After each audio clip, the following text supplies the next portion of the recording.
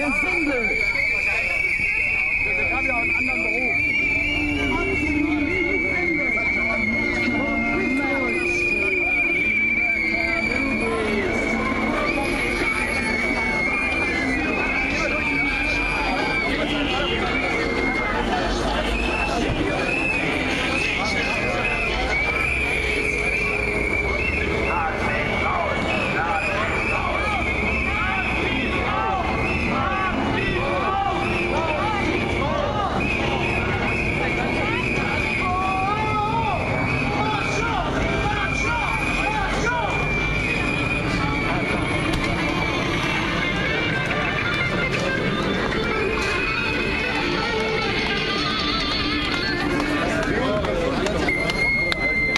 Okay.